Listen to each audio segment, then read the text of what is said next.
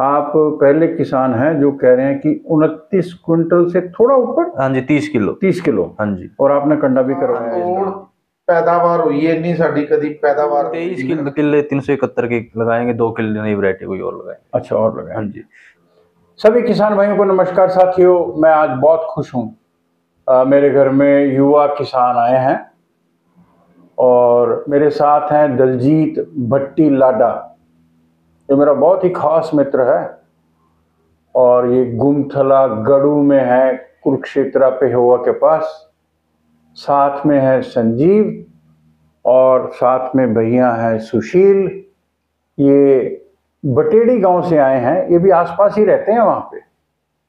तो जब चर्चा हो रही थी गेहूँ की किस्मों पे तो डीबीडब्ल्यू 371 के जो इन्होंने आंकड़े पिछले साल प्राप्त किए हैं वो काफ़ी अच्छे थे पैदावारी में तो मैंने कहा मैं क्यों नहीं इनके साथ वीडियो बनाऊं और आप सबके साथ चर्चा करूं आप सबका बहुत बहुत स्वागत है आइए बात करते हैं अ, ਦਲਜੀਤ ਭੱਟੀ ਜੀ ਤੁਸੀਂ ਦੱਸੋ ਪਿਛਲੇ ਸਾਲ ਕਿਹੜੀ ਕਣਕ ਲਾਈ ਸੀ ਤੁਸੀਂ ਡਾਕਟਰ ਸਾਹਿਬ ਪਿਛਲੀ ਵਾਰੀ ਅਸੀਂ DBW 371 ਲਾਈ ਸੀ ਜੀ ਇਹਦਾ ਦੋ ਵੀ ਕਿੱਲਿਆਂ ਦਾ ਬੀ ਮਿਲਿਆ ਸੀ ਸਾਨੂੰ ਯੂਨੀਵਰਸਿਟੀ ਚੋਂ ਇੱਥੋਂ ਕਰਨਾਲ ਕਹਿ ਦਿਓ- ਵੀਡੀਓ ਬਣਾਈ ਸੀ ਮੌਕੇ ਤੇ ਤੁਸੀਂ ਇਹ ਕਿਹਾ ਸੀ? ਹਾਂ ਬਿਲਕੁਲ ਗਿਆ ਸੀ। ਤੁਹਾਨੂੰ ਮਿਲਿਆ ਸੀ? ਬਿਲਕੁਲ। ਓਕੇ ਬਿਲਕੁਲ। ਤੇ 2 ਕਿੱਲੇ ਲਾਏ ਸੀ ਤੇ ਉਹਦੇ ਚ ਫਿਰ ਕੀ ਰਿਜ਼ਲਟ ਸਾਡੀ ਰਿਹਾ ਡਾਕਟਰ ਸਾਹਿਬ ਜੀ ਰਿਕਾਰਡ ਤੋੜ ਪੈਦਾਵਾਰ ਹੋਈ ਹੈ ਇੰਨੀ ਸਾਡੀ ਕਦੀ ਪੈਦਾਵਾਰ ਨਹੀਂ ਹੋਈ ਜੀ। ਕਣਕ ਦੀ। ਅੱਛਾ। ਹਾਂਜੀ। ਇਹ ਲਗਭਗ ਤੁਸੀਂ ਲਾਓ ਜੀ ਇਹ ਅਜੇ ਕਣਕ ਹੋੜੀ ਰਹਿ ਗਈ ਸੀ ਥੋੜੀ ਬਿਰਲੀ ਉੱਗੀ ਸੀ ਬੱਦਰ ਘੱਟ ਦੇ ਕਾਰਨ। ਫਿਰ ਵੀ ਜਿਹੜੀ 2 ਕਿੱਲਿਆਂ ਦੀ ਉਹ ਸੀ ਉਹ 27 ਕੁਇੰਟਲ समय आप सुन लें कि इनके यहाँ कुरुक्षेत्रा जिला के पहेवा एरिया में गुमथला में ये सत्ताईस क्विंटल पैदावार दी गई है। और आइए अब जरा संजीव से बात करते हैं। संजीव जी आपका बहुत बहुत स्वागत है। नमस्कार संजीव जी आपको मैं अच्छे से पहचानता हूँ। पिछले साल जब भारतीय गेहूँ एवं जौ अनुसंधान संस्थान करनाल में बीज वितरण हुआ था हाँ जी। तो आपने ये बीज डीबीडब्ल्यू तीन सौ इकहत्तर लिया था। हाँ जी। तो आपके गाँव बटेड़ी में ये किस तरह रहा? दलजीत ने तो बता दिया कि जी इनके यहाँ तो सत्ताईस क्विंटल की पैदावार थी। मेरे पास जी सर तीन सौ इकहत्तर भी था और तीन सौ बहत्तर भी था दोनों बीज थे। जी। दोनों साथ साथ पास ही इकट्ठे लगे हुए थे अलग। अलग खेत के अंदर। हम्म, जो तीन सौ बहत्तर था डीवीडब्ल्यू जी। वो इसकी तुलना में मुझे कम अच्छा लगा। अच्छा।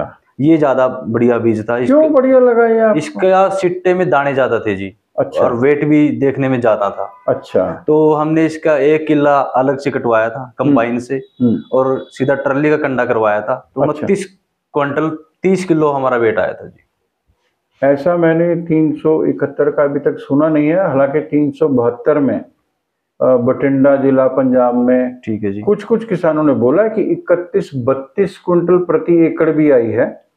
आप पहले किसान हैं जो कह रहे हैं कि उनतीस कुंटल से थोड़ा ऊपर हाँ जी तीस किलो। तीस किलो। हाँ जी। और आपने कंडा भी हाँ करवाया जी है हाँ जी हाँ जी।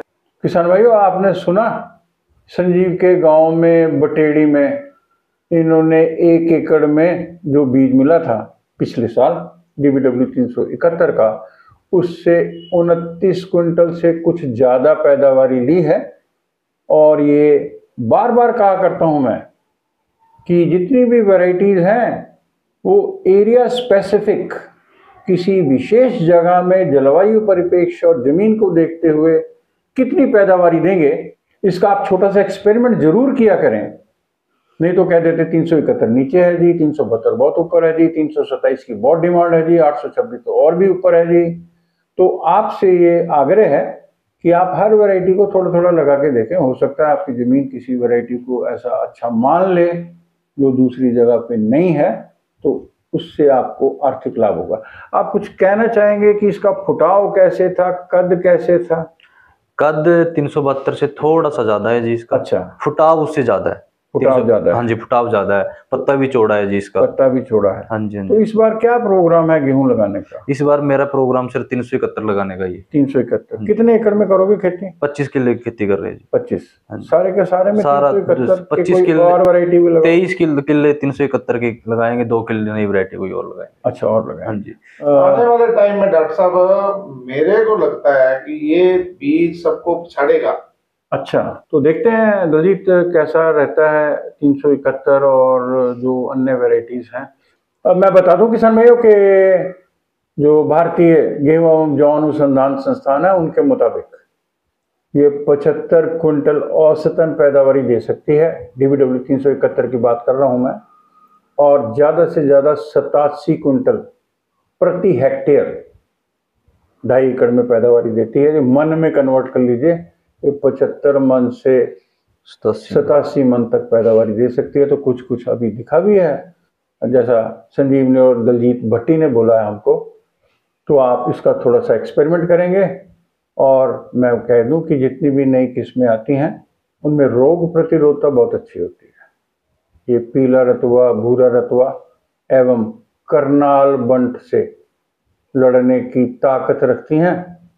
और इनसे पैदावार आपको ज़्यादा मिलेगी। आप अच्छे ढंग से, वैज्ञानिक ढंग से करें खेती। सबको ढेर सारी शुभकामनाएँ, नमस्कार।